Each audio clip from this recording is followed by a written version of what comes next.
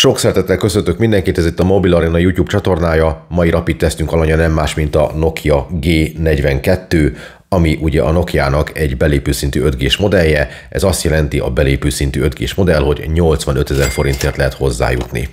Ha megnézzük a specifikációt, akkor ez nem egy kifejezetten különleges telefon, de van egy olyan tulajdonsága, ami nem nagyon jellemző semmilyen más készülékre, ez pedig az, hogy otthon szerelhető, hogy a Nokia-nak van egy együttműködés az iFixit-tel, és hát bizonyos mennyiségű euróért cserébe az ember kap egy szerelőkészletet és egy megfelelő alkatrészt, és ehhez van egy leírás is, vagyis elvileg, hogyha egy kis kézügyessége adódik, akkor otthon is ki tudja cserélni az akkumulátort, a kijelzőt, a hátlapot, vagy a töltőcsatlakozót, ugye ez az a négy dolog, amit lehet hozzá rendelni. Mi ezt megcsináltuk egyébként, kipróbáltuk, és 55 perc alatt tudtuk ebben, ebben a konkrét G42-ben kijelzőt cserélni, erről ugye van egy külön videónk, azt megtaláljátok a leírásban. De térjünk vissza magára a telefonra.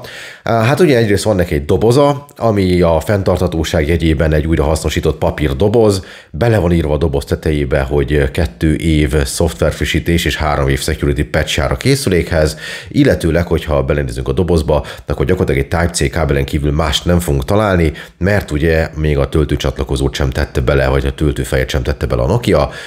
Egyébként 20 wattos töltésre képes az eszköz, vagyis nem kell hozzá egy különlegesen drága töltőfej, hogy a maximális képességét tudjuk használni. Maga a telefon hát egy kicsit régi módi, ami egyrészt látszik a külsején, meglehetősen vaskosok a kávák, egy csepp alakú van a kijelző tetején, ahol az előlapi kamera üldögél, alapvetően műanyagból épül fel a készülék, de egy ilyen alumínium keretre van ráfeszítve a készülékház, cseppálló, és hát, hogyha megnézegetjük a telefont, akkor azt fogjuk mondani, hogy van benne egy csak HD felbontású IPS kijelző, ami 90 Hz-es, és van hozzá egy Snapdragon 480 Plus nevű Qualcomm chipset, ami a Qualcommnak a tavaly előtti belépő szintű 5G-s ajánlata, szóval ez egy meglehetősen régi chipset, és ennek megfelelően nem is túl acélos a teljesítménye. Néha azt is lehet érezni, hogy még a 90 Hz-es kijelzőt sem tudja rendesen kihajtani, miközben ugye egy puszta gyári Android 13 van rajta, amibe a Nokia nem nagyon tett bele semmi extrát, hanem ez ugye az a Google Android keretrendszer vagy kezelőfelület, amit úgy, ahogy van a Google kitol magából, és utána hát vagy egy gyártó szórakozik azzal, hogy customizálja, vagy nem, a Nokia azok közé tartozik, aki nem. A hátlapon 50 megapixeles főkamerát találunk, ugye itt egy kicsit becsapós a hátlap, mert ha ránézünk, akkor három kamera látszik, de abból csak egy használható. Ugye van még egy segédszenzor és a makrókhoz egy két megapixeles valami, de fotózni, videózni 50 megapixeles főkamerával fogunk. Hát 50 megapixelben nem érdemes vele dolgozni, egyrészt elég lassan menti el a képeket, másrészt pedig nem lesznek jobbak, mint hogyha rábízzuk az automatikára a 12,5 megapixelre való leskálázást.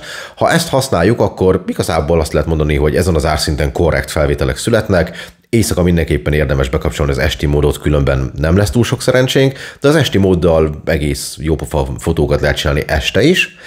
Videózni pedig Full HD-ban tudunk, maximum 60 FPS-sel, de semmiféle stabilizációt nem kap a készülék, ugye optikai abszolút nincsen, az elektronikus pedig ha van is, akkor nem nagyon érhető tetten az eredmény. Ilyen videót készít a Nokia G42 hátlapi kamerája, Full HD 30 FPS-es felbontásban. Látható stabilizáció nem nagyon van, de alapvetően a színek rendben vannak. Hát ez egy belépő szintű 5 g telefon, szóval nem vártunk túl, túl sokat, de ezt a színvonalat képes hozni. Ez pedig az a minőség, amit a Nokia G42 előlapi kamerájával tudok rögzíteni. Hát itt látszik, hogy azért a dinamika tartomány meglehetősen szűk, és stabilizációnak szintén nem nagyon lehet nyomát találni. Amit viszont el lehet mondani, hogy a hangminőség az kifejezetten korrektnek mondható, úgyhogy ezt tudja az előlapi kamera.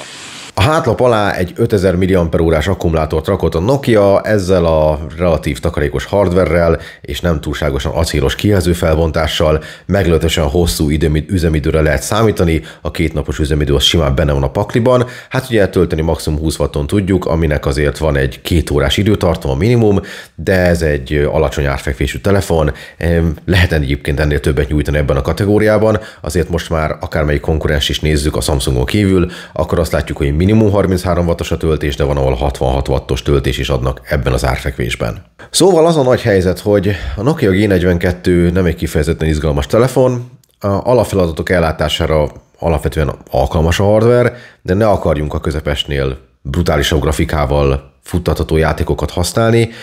6 GB RAM-ot adnak az alapcsomagba 128 GB belső tárhely mellett, ez nagyjából elég, de azért lehet érezni, hogy ha sok minden fut a háttérben, akkor döcögőssé válik a felület.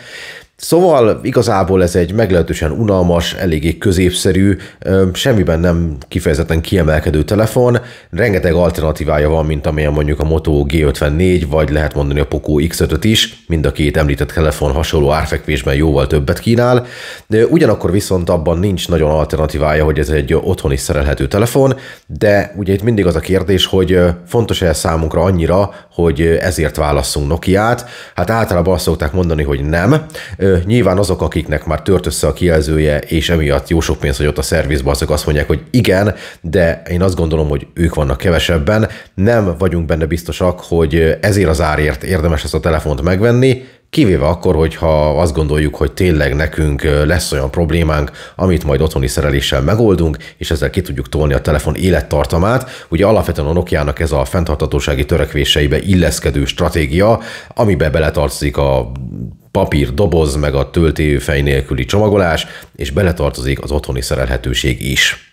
Amennyiben ennél több információra van szükséged a Nokia G42-ről, akkor látogass el a mobilarena.hu-ra, a leírásban megtalálod a linket, ami konkrétan a teszthez visz. Ha pedig még hasonló tartalmakat szeretnél nézni itt ezen a csatornán, akkor ne felejts el megnyomni mindent, amit a YouTube felkínál, és akkor nem fogsz lemaradni a későbbiben érkező tartalminkról sem. Köszönöm szépen a figyelmet, sziasztok!